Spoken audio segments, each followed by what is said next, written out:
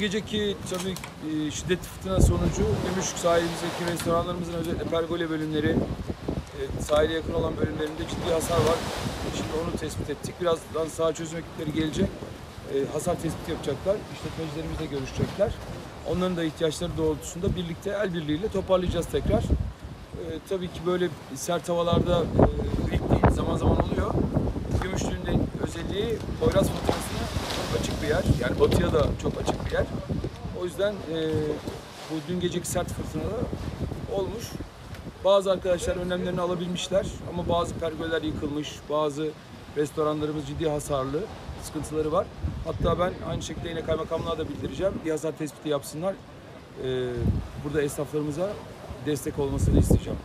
Yine bir sayı var mı başkanım? Kaç işletme zarar görmüş? Yani en az 20 işletmede ciddi zarar görüyorum. Şu anda daha e, batıya gitmedim. Gümüşlü'nün doğusundayım. Daha halk plajı ve diğer tarafa daha geçmedim. Oraya da bakacağız. Evet. Yemek yemeği bir tane restoran. Evet şu anda kalmadı ama çok hızlı bir şekilde bir toparlanmayı yapmamız lazım. E, hava düzeldiği anda bir düzeltme yaparız. Bir düzenlemeye gideriz arkadaşlar. Teşekkür ederim.